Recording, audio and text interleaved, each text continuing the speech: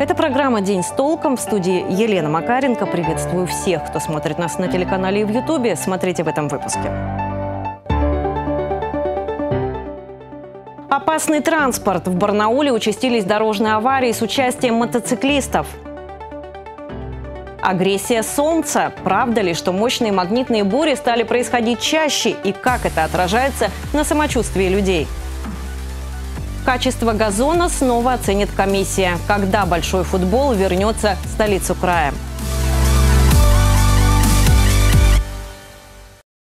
Следственный комитет России заинтересовался Барнаульским домом, в котором обвалился потолок. Инцидент произошел 8 мая по улице Кулагина, 23.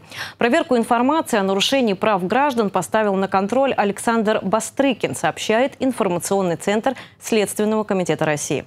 Дом 1949 года постройки – это общежитие с общим душем и туалетом. По словам жильцов, ремонт делали почти 20 лет назад, а крыша двухэтажки постоянно течет. Буквально неделю назад она обрушилась. Хорошо, никого видеть не было. Просто обрушилась э, на лестничный пролет. И образовалось прям от отверстие большое, прям было видно небо. Но вот сейчас я не знаю, кто кто-то вот э, за выходные, видать, заложили досками. Но это небезопасно, это совсем небезопасно. Администрация Барнаула опровергла информацию о самопроизвольном обрушении, сообщив, что управляющая компания провела ремонтные работы, а именно демонтаж штукатурного слоя и замену чердачного перекрытия на лестничной клетке. В ведомстве также добавили, жители дома по вопросу признания дома аварийным в межведомственную комиссию не обращались. Ситуацией, помимо Следственного комитета, заинтересовалась и Краевая прокуратура. Между тем, глава Следственного комитета России Александр Бастрыкин поручил доложить о предварительных и окончательных результатах процессуальной проверки.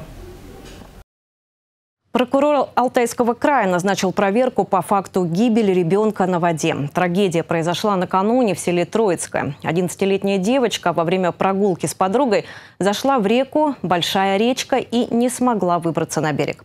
Ребенка пытался спасти 51-летний рыбак, который находился поблизости, но, к сожалению, мужчина тоже погиб. По данному факту следственными органами Следственного комитета Российской Федерации по Алтайскому краю возбуждено уголовное дело по признакам преступления, предусмотренного частью 1 статьи 109 Уголовного кодекса Российской Федерации, то есть причинение смерти по неосторожности. Следственные органы Следственного комитета в очередной раз обращаются к жителям края не допускать пребывания несовершеннолетних вблизи водоемов без сопровождения взрослых, к другим темам. Барнаул сегодня утром оказался во власти пробок. Буквально колонны автомобилей двигались в направлении городских кладбищ. Туда же направлялись автобусы, проезд в которых власти Барнаула по традиции сделали бесплатным.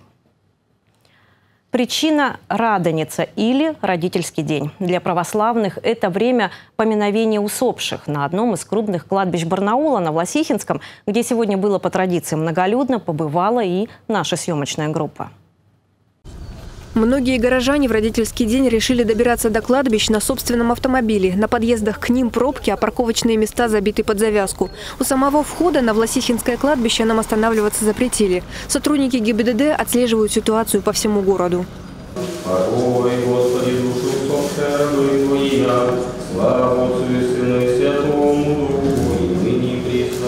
И во веки веков. Аминь.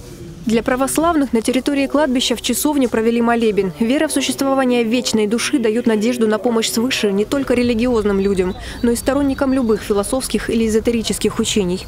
Легче становится. Правда, выходишь, какой-то вот прям хорошо. Побывал, как бы долг свой отдал – на могилу Николая Черкасова, писателя и поэта, родом из села Панфилова, приехали две его дочери. Вырваться сюда получается нечасто, поэтому убирать территорию пришлось на Радоницу. Нехорошо, а надо. Сестры делятся наблюдениями. Когда умоешь водой портрет на памятном камне, папа улыбается. Он как бы и с юмором был. У него стихотворения есть такие немножко такие с юмором. Вот.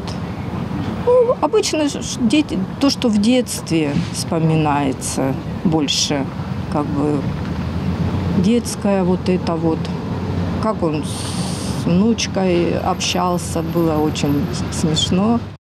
Ушел из жизни Николай Черкасов уже в статусе члена Союза писателей. На его малой родине ежегодно проводятся черкасовские чтения. Существует даже литературная премия его имени, а книги хранятся в библиотеках края и даже издаются. Дочки Марина и Елена участвуют в памятных встречах. Мне кажется, им тоже это надо. Как бы, ну и нам надо, ну и им это надо, чтобы не забывались, чтобы вспоминали. Это же связь с родом.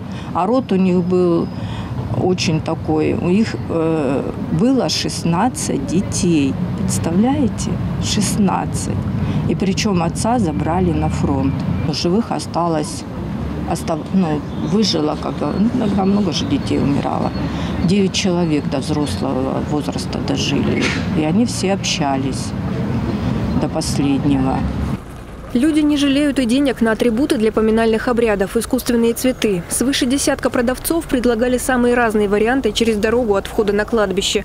Пластмассовую жизнь несут к могилам по привычке, потому что так правильно. Но каждый, кто приходит сюда к своим родным, несет с собой нечто более ценное – самих себя и вечную благодарность за время, проведенное вместе прежде. Дарья Ирошина, Владислав Ковалев. День с толком. 23 мая Землю накроет очередная довольно сильная магнитная буря. При этом последствия от последней, что произошла на днях, только начинают оценивать.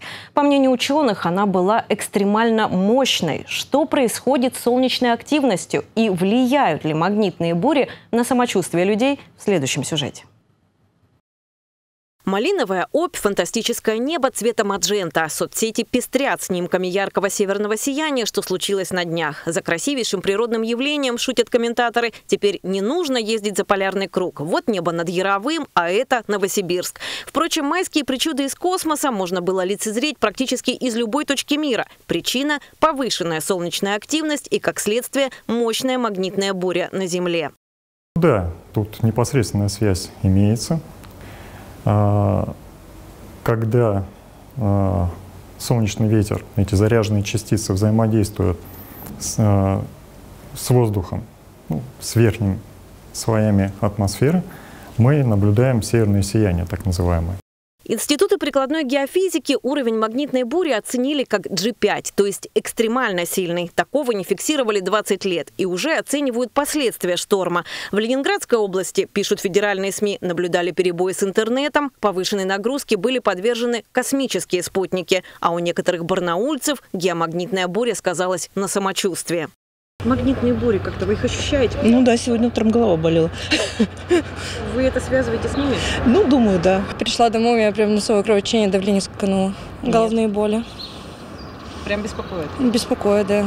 Слышал, что вроде бы в этом году пик какой-то, там вспышка какая-то самая серьезная, но не ощущаю. О влиянии магнитных бурь на здоровье мнения ученых расходятся. К примеру, профессор технического вуза считает, что это больше самовнушение, которому подвержены метеозависимые либо мнительные люди. Солнце волнуется регулярно. При этом ученый признает, цикл активности планеты почему-то сбился.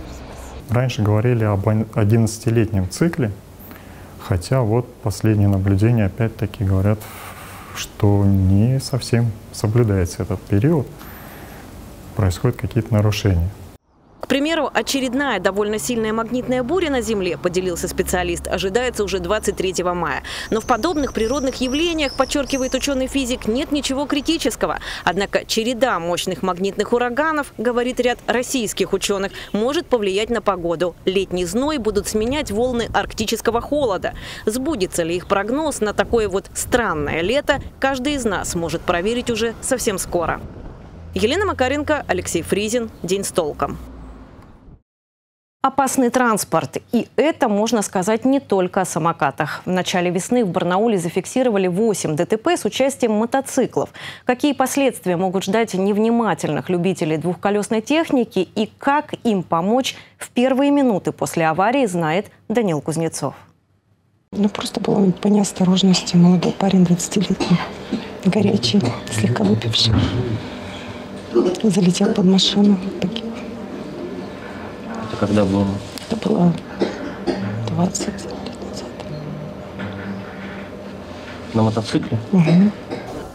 Два дня назад в похожей ситуации не по своей вине могла оказаться и Анна, пережившая лобовое столкновение. Будь она как знакомый на мотоцикле, все бы закончилось плачевнее.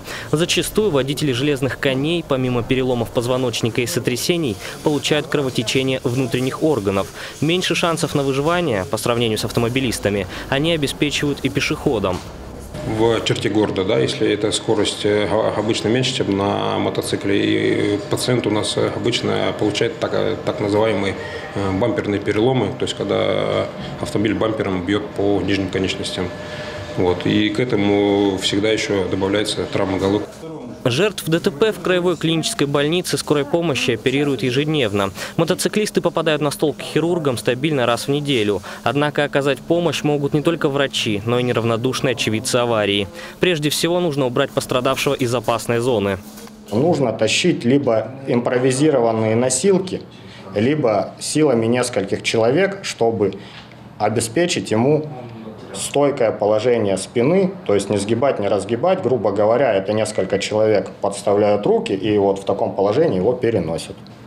Далее нужно действовать по обстоятельствам. Если человек не подает признаков жизни, нужно аккуратно освободить дыхательные пути и сделать искусственное дыхание. После, если имеются навыки, можно попробовать непрямой массаж сердца. Кстати, пик аварий с мотоциклистами традиционно приходится на открытие сезона, когда асфальт не успевает прогреться и сцепление с шинами страдает. В Барнауле первые ДТП с двухколесными начали фиксировать еще в апреле, однако в мае их стало больше. Уже в мае текущего года произошло 6 дорожно-транспортных происшествий, в которых пострадало 6 человек, из них двое несовершеннолетних. Один из мотоциклистов разыскивается сотрудниками отделения розыска городской госавтоинспекции. По словам врачей Краевой клинической больницы скорой помощи, любителей двухколесной техники от общего числа пострадавших в ДТП примерно 20-30%. Притом это соотношение достаточно стабильное на протяжении многих лет. Если не хочешь сменить два колеса, которые возят душу, на четыре колеса инвалидной коляски, то никогда не превышай скорость и всегда старайся надевать экипировку. Данил Кузнецов, Андрей Печоркин. День с толком. Инспектор Алтайской таможни отказался от крупной взятки. Поощрение в виде одной тысячи долларов намеревался передать 31-летний иностранец, который хотел ввести легковой автомобиль из Монголии без надлежащего таможенного оформления. Сотрудников предупредили о готовящемся преступлении. Сразу после передачи денег злоумышленник был задержан сотрудниками отдела по противодействию коррупции Алтайской таможни. В отношении взяткодателя возбуждено уголовное дело. К другим темам. По результатам российского опроса, в котором приняли участие больше полутора тысяч родителей, четверть из них хотят, чтобы дети в школах изучали китайский язык. Причем они считают, что его нужно сделать обязательным для изучения наравне с английским. Что об этом думают барнаульцы, узнавала наша съемочная группа. В принципе, позитивно отношусь, но если у ребенка есть возможности, время, и силы, и желание, то почему нет? Чем больше языков, тем лучше. Если как экзамен не делать, а как предмет просто учить, то, ну, я думаю, пару часов в неделю хорошо будет. В обязательном порядке навряд ли. Мне кажется, лучше вот по выбору. Потому что, в принципе, английский плохо преподается в большинстве школ. Лучше туда упор сделать и английский. Выбор, да. Просто, возможно, будет такая же практика, как с немецким. Зачастую на немецкий язык, ну, дети сами в школе подзабивали, так сказать. Вот, поэтому, ну, не знаю. Мне кажется, это просто будет непосещаемый предмет, возможно. Потому что язык очень сложный. Сами китайцы не могут выучить китайский на 100%. Да маленькая жизнь повернется. Может, и китайский пригодится. Он уже и сейчас, по-моему, вполне в обиходе. Вообще я учусь в лингвистическом институте, но на английском, французском, не знаю, мне кажется, китайский очень сложный язык, чтобы учить его детям. Я из маленького города, из Каменной-Оби, у нас даже английский нормально не ведется, так что... Чем больше ребенок знает языков, тем лучше. Почему нет? С детства легко, несложно. Я как человек, который знает два языка, это легко с детства. Наши ну, дети, а внуки будут вот такими ассимиляция с Китаем неизбежна. Ну и плюс учиться. Сейчас э, у них три, например, университета в топ-100 входят. Вот когда наш ведущий, там, например, МГУ, телепается на 200 месте. Поэтому, конечно, да, факультативно пока, может быть, обязательно, не думаю. Тут родители должны решать. А вот центр как бы обучения китайскому языку, я думаю, он или есть, или скоро будет в городе. В Барнауле назвали объект, который в следующем году благоустроит по нацпроекту. И хотя две недели назад все уже знали, кто стал победителем онлайн-голосования, теперь официально парку 300-летия Барнаула быть. За территорию, которая находится возле торгового центра Европа, свои голоса отдали более 9 тысяч человек. Еще недавно было сложно поверить в то, что огромный пустырь в перспективе может стать парком, у которого уже есть своя инициативная группа и дизайн-проект. Напомним, голосование проходило с 15 марта по 30 апреля. Всего в нем приняли участие 190 тысяч жителей края. Кстати, в этом году по нацпроекту «Жилье и городская среда» будет благоустроено 125 объектов, 55 общественных пространств и 70 дворов. 19-летний барнаулец Антон Воронин победил в международном конкурсе красоты «Мировая модель-2024». На днях парень вернулся из Москвы, где проходил показ, и привез с собой высшую награду Гран-при. Теперь он будет представлять нашу страну на конкурсе красоты на Филиппинах. С победителем встретилась моя коллега Мария Костылева. Буквально на днях прилетел домой в Барнаул с наградой, триумфом и короной победителя. Кстати, в модельной сфере Антон всего год. Говорит, узнал о конкурсе и решил попробовать, а вдруг? И вот получилось. К самому конкурсу готовился недолго, помогла уже наработанная практика. Проделана большая работа над собой. Например, балансировать между подготовкой и успехами в учебе не так уж и просто. У нас была подготовка не совсем-то и большая, около недели, может быть, двух. И это все учеба, футбол, там тренировки, зал, подготовка. Это все было очень так сложно, очень мало времени, но мы все равно успели подготовиться, сделали танец, э, дефиле. Не обошлось, конечно, без помощи опытного наставника. Уже 13 лет Татьяна Жилина учит моделей разных возрастов ярко преподносить себя не только на сцене, подиуме, но и в жизни. Уроки фотопозирования, умение учили держать себя на сцене, а правильно говорить, как бы придаем им такой определенный настрой. Не строгостью мы берем, а такой какой-то, наверное, действительно дружбой а, прививаем а, нашим ученикам именно любовь к сцене, э, мотивируем их на победы. И, наверное, больше, наверное, я такой добрый руководитель, но настойчивый. Конкурс длился три дня. Участники подготовили несколько выходов. Речевая визитка, творческий номер и дефиле с парой. Выступление пролетело на одном дыхании. У участников было меньше минуты. За 40 секунд каждый участник должен был себя проявить, себя показать. И вот это было, ну, наверное, в этом конкурсе одно из самых сложных, потому что времени действительно мало, и за это время надо запомниться всему залу. И как только ступаешь на сцену, вот делаешь первый шаг – и все, и сразу растворяешься, и волнение уходит, и ты просто начинаешь э, получать удовольствие, ты просто кайфуешь от всего происходящего. Наш барнаулец запомнился. Наград несколько. Гран-при «Мировая модель» и «Бест модельмен мира». Кстати, корону Антону Воронину вручал сам король гламура, знаменитый стилист Сергей Зверев.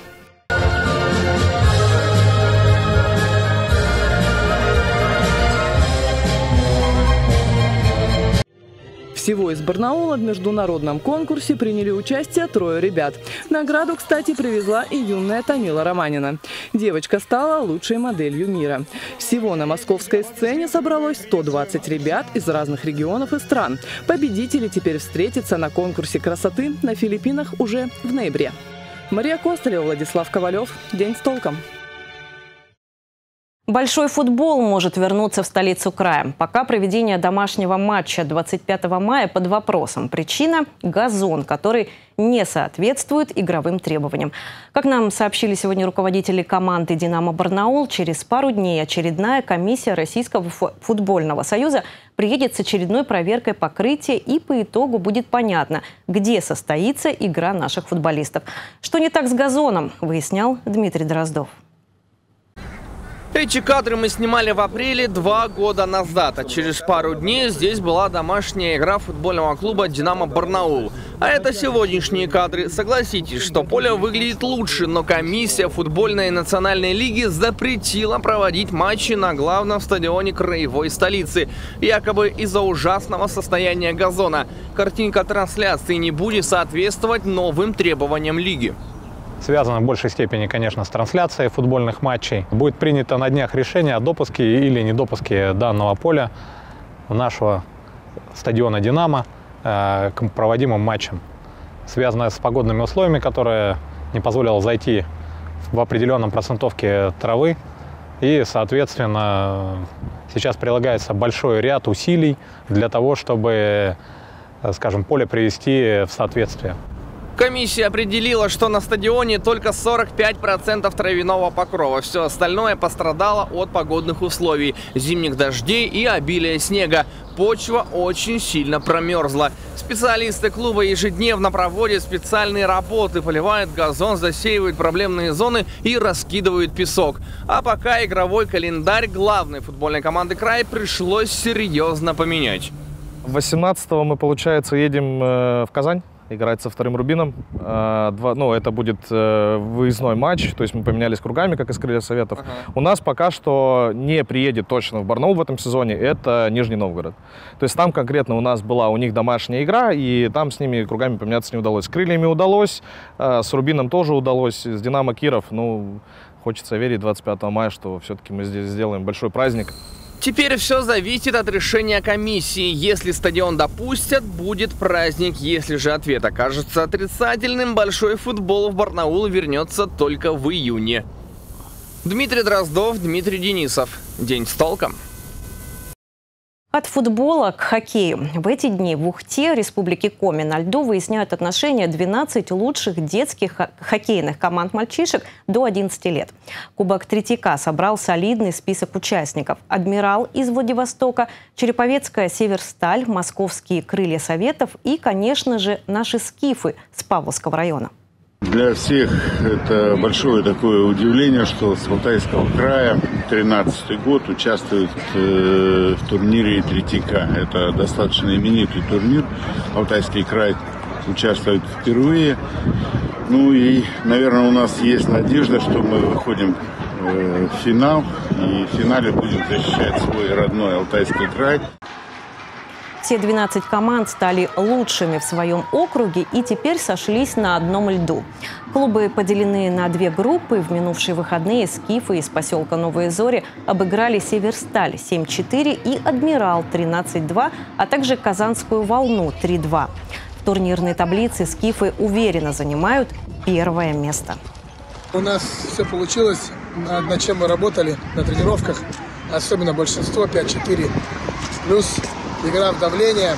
Ну и совершенно очень мне понравилось, очень понравилась эта работа вратарей. Мы ничем не хуже, чем команды э, Центрального округа, либо там Москвы. И на этом у меня все новости. Напоминаю, что для вас работает телефон нашей редакции 205 545. Через несколько секунд о погоде. До встречи.